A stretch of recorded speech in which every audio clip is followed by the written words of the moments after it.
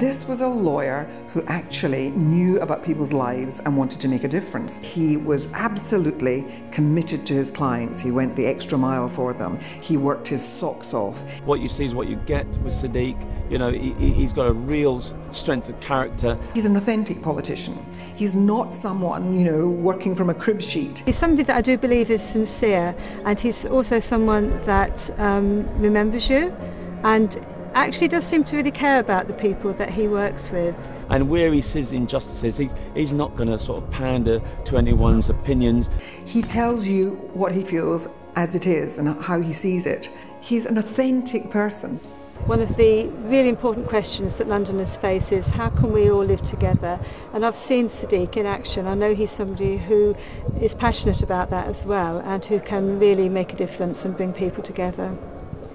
He actually listens to what people are saying and he is able to deliver. And that business of delivery is something that we want from our mayor. Sadiq is what London and Labour is all about. He's a working class guy from a council estate who became a lawyer, member of parliament, uh, and member of the shadow cabinet, and now he's running to be mayor of London. He's a man who knows the real world and he knows what London has to offer. He was brought up in London. Um, I remember at the age of 15, uh, we worked in a restaurant washing dishes at the end of the shift. I think he gave us something like six pounds. Me and Sadiq looked at each other and thinking, six pounds? No. So Sadiq went back, said, sorry mate, you need to pay us a little bit more. He's arrived here with his family and he has made it, but he wants that to be true for everybody. But he has never forgotten what it was like to come up the hard way.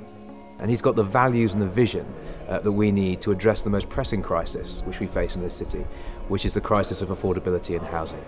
I think he's the face of modern London. He believes in business for London. He believes that the professions matter. He believes that everybody has a contribution to make and he wants people to have those opportunities. This great multinational country of ours is actually epitomised by London and its tolerance, its opportunities, its vibrancy, its humour. That's Sadiq.